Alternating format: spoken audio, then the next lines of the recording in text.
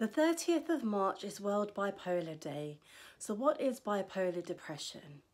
Well, someone who has a diagnosis of bipolar depression will usually swing between two moods, and they're quite drastic moods and changes. So, one is from a very depressed mood, and the other is a very elevated and high mood. Bipolar disorder used to be called manic depression, but we don't refer to it as this anymore. About one in a hundred people in the UK have a diagnosis of bipolar depression. And we don't know the cause of this as yet, and there's no exact cure. But what we do know is that it usually develops between the age of 15 and 19.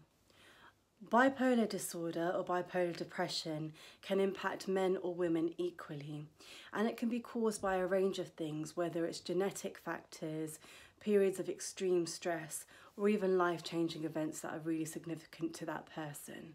So there's no one cause and there's no one cure. When the individual is in a depressed state, they lack energy, they may be very low in mood, and they may also experience suicidal ideation, thoughts, or self harm. When the person is in a state of mania, they have very high energy levels. They may hardly eat or sleep. They're very, very active, and also they can become easily irritable. They may also hear or see things that aren't there, and they may often buy things that they can't afford because there's no idea of the consequences of their actions at that point in time.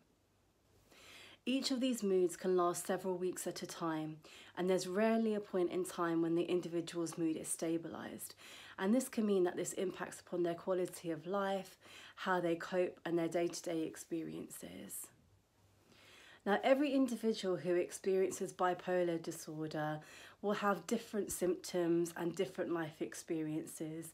So it's really important to speak to a GP in the first instance to look at the best way to holistically support that individual. They can then help develop a care plan which is specific for that person.